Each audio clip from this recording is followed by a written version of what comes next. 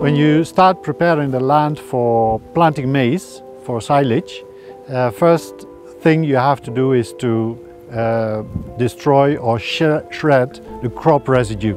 So what is left over from the previous crop. And the easiest way to do that is with a shredder or something that chops the crop residue into smaller pieces so that when you do the land preparation, the equipment can easily deal with it.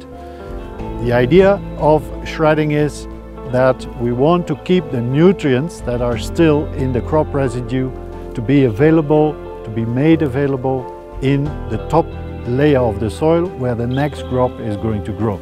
After shredding, uh, the best way of cultivating the land would be a chisel plow together with rollers behind the chisel plow.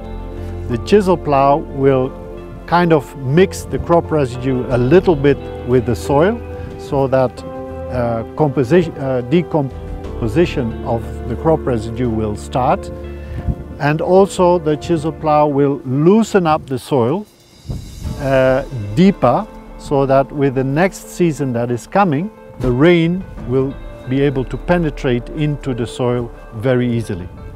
That is important.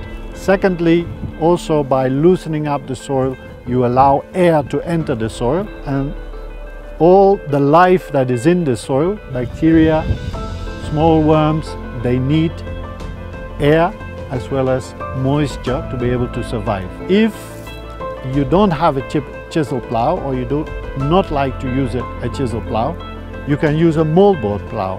So you have done the shredding, that is still advisable because even the moldboard plow, when the crop residues of the maize are very long and tall, it is not always e handy for a um, moldboard plow to handle it immediately and to cover the crop residues.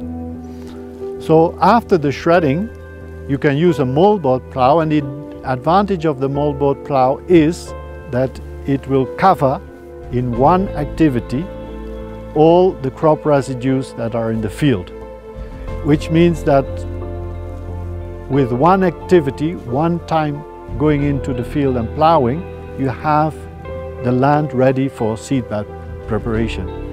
So this type of equipment, when used year after year, really will reduce the amount of diesel that you will need to prepare your land for planting.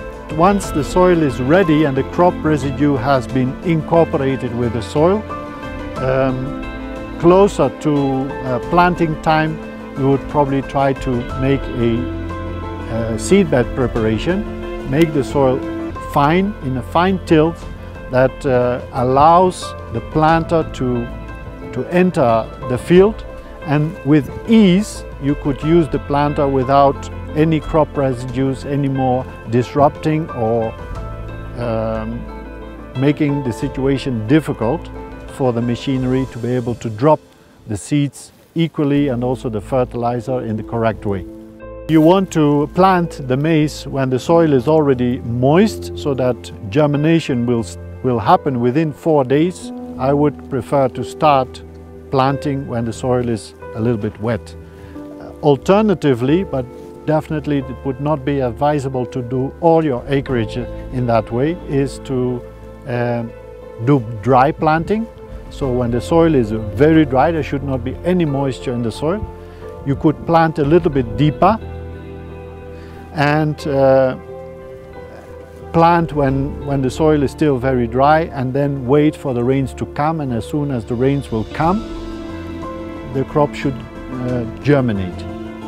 Um, as long as the seed is in the soil and the soil is very dry, nothing will happen because there, it needs moisture for the seed to germinate.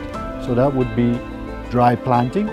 The advantage of dry planting, there is an advantage, and that would be that the yield is normally slightly higher than if you wait until the soil is uh, completely wet. Because basically the soil is very warm when dry planting, as soon as the moisture comes, the rain comes, uh, the, the plant will really develop grow very fast.